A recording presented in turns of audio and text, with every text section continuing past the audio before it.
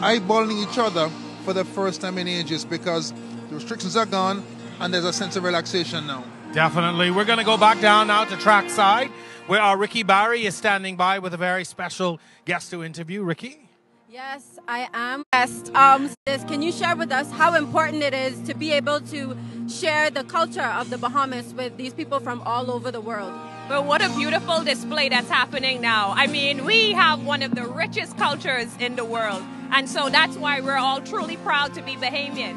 With so much activity that we have going on for the 50th, it is truly an honor to be able to celebrate a 50th anniversary of Carifta right here in our very own beautiful shores.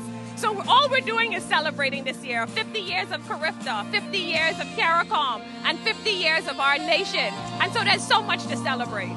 That's awesome, but I would be remiss to have you leave here and not explain to us your Carifta winning, your Carifta win that you got. I need you to tell us what was that like and what does it mean to now be hosting this thing that you were just excited to compete in?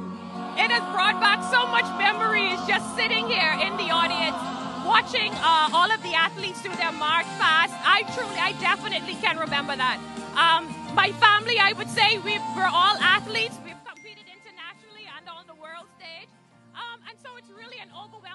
Feeling just to know what the athletes are feeling. You know, as a former athlete myself, you understand the work that's, that's go into working so hard.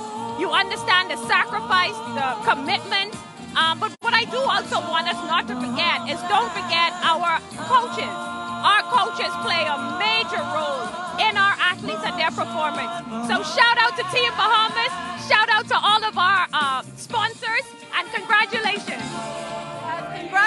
and shout out to all of our participants, from the Bahamas and from the other countries as well. Thank you so much for speaking with us. Jerome, back to you. Now to enjoy some of the performance taking place here in the stadium.